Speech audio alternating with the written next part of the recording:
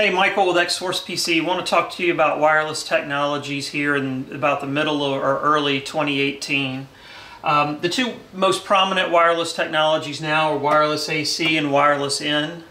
And you've probably heard those terms. Wireless N came out in 2009, wireless AC in 2013. But wireless AC is just now really becoming widely adopted just in the last one to two years, even though it's been out for, what is it, five years now. Um, they also, another difference here is uh, 5 gigahertz is what the wireless AC runs on. 2.4 and 5 gigahertz is supported on wireless N, and we'll talk about why that's important in a minute.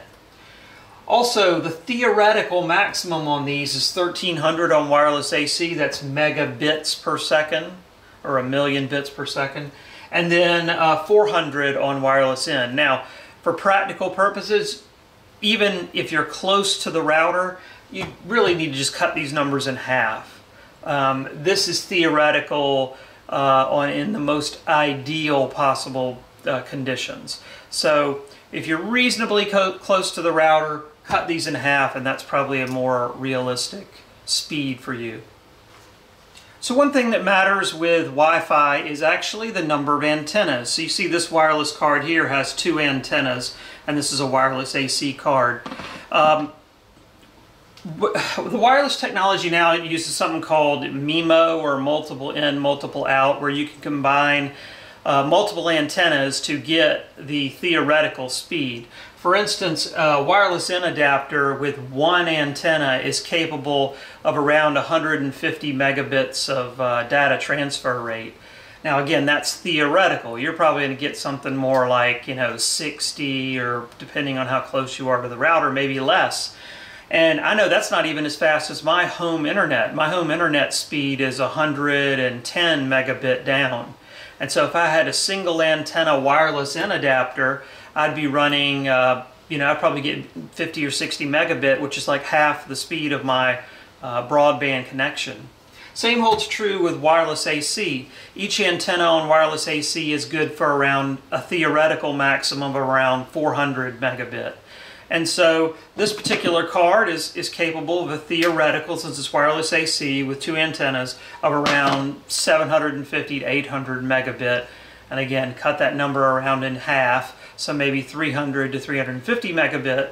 And of course that does exceed, exceed my wireless, um, excuse me, my broadband connection at home, so this adapter would work well for me. Okay, so let's talk about 2.4 versus 5 gigahertz uh, frequencies. So let's say we have a house here. This is a top-down view of our house. I'm not going to bother drawing a bunch of walls in there. And let's say our router just happens to be located directly in the center of the house, just to make things more simplistic. Um, and our 5 gigahertz signal covers, you know, something like this. It's a big house, okay? And then let's say our 2.4 gigahertz frequency covers this much of the house. I think I mentioned earlier that 5.8 gigahertz, or maybe I didn't, doesn't travel as well as 2.4. Every barrier you throw up in front of it, in other words a wall, cuts that signal approximately in half. So after it goes through one wall, you're down to 50%, goes through another wall, you're down to 25%, goes through another wall, you might be down in like 10 or 15% signal. So um, that's why you see a smaller circle here than for the 2.4. Now the 5 gigahertz is a faster band to use. So you might say, well, I want to use that all the time. Well, as you can see here, it may not always be appropriate. So let's say we have a computer and it's right here, it's just a desktop computer, doesn't move. The clear thing to do is to use the 5 gigahertz band there to communicate with the router, because 5 gigahertz is faster than 2.4. Now let's say we have uh, another computer and it's, it's like right here.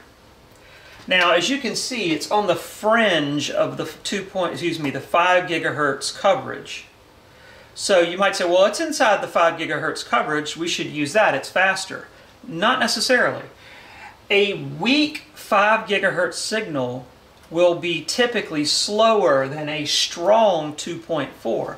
Notice we'd have a strong 2.4 gigahertz signal here, but a very weak 5 gigahertz. So in this particular case, we'd probably be better off running 2.4 gigahertz because we're right on the fringe of that coverage. And then lastly, you know, anything out here or here, you're going to want to use the 2.4 gigahertz band simply so you will have signal because the 5 gigahertz simply doesn't reach that far. Now one way you can fit, fix this situation is with a whole home Wi-Fi system and I'll probably do a separate video on that just to talk about how those things work because they are pretty great.